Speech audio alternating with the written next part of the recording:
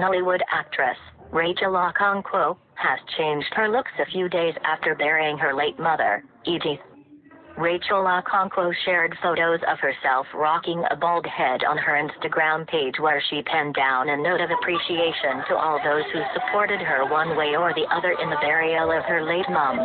She said, I want to express my sincere gratitude for the love and support you all showed my family and I during our trying period. My life hasn't been the same since I lost my mom on the 19th of July, but the way you all came out en masse to give her a befitting and memorable funeral gave me hope and brought light my way. I feel so loved and blessed regardless. I'm so grateful. May God bless you all.